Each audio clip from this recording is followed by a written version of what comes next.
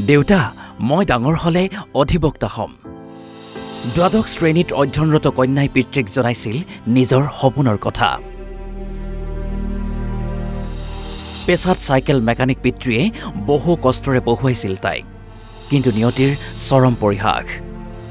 আধৰুৱা সপোনলৈ চিৰ বিদায় ল'লে মেধাৱী ছাত্ৰী মীৰাই।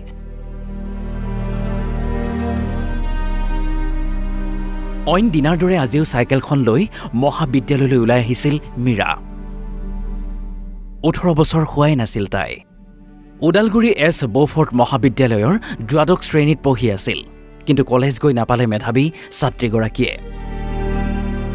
ঘৰৰ পৰা চাইকেলেৰে আহি ওদালগুৰি চহৰৰ নলবাৰী গীৰ্জাৰ সন্মুখ পাইছিল। সেই সময়তে তীব্ৰ গতিত অহা এখন ডাম্পাৰে পাছফালৰ পৰা খুন্দা মাৰে মীৰাক। ফলত দুৰ্ঘটনাস্থলীতেই মৃত্যুক সাৱটি লয় মীৰা ৰাজভৰে।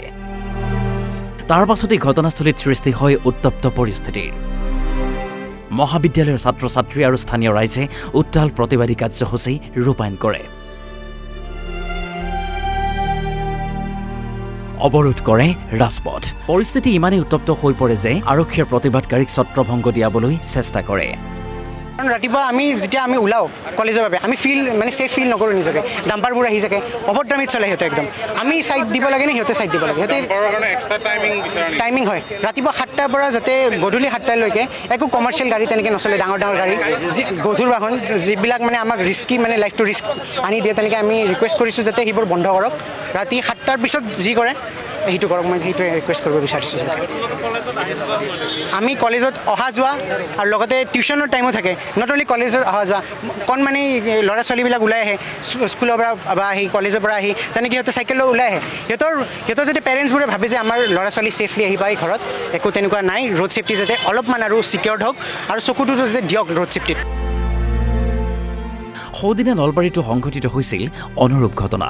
চাইকেলেৰে কলেজলৈ আহি থাকোঁতেই ডাম্পাৰৰ খুন্দাত মৃত্যু হৈছিল উচ্চতৰ মাধ্যমিকৰ প্ৰথম বৰ্ষৰ ছাত্ৰী পায়েল দেৱীৰ। এতিয়া প্ৰশ্ন হয় ৰাজপথত জমদূত ৰূপী ডাম্পাৰৰ অটপালি কেতিয়া বন্ধ হ'ব? ডাম্পাৰৰ খুন্দাত আৰু কিমানে প্ৰাণ হেৰুৱাব? ডাম্পাৰৰ বিৰুদ্ধে প্ৰশাসনে কিবা ব্যৱস্থা গ্ৰহণ কৰিবনে? ওদালগুৰিৰ পৰা Nipu Kakati Asom live twenty four.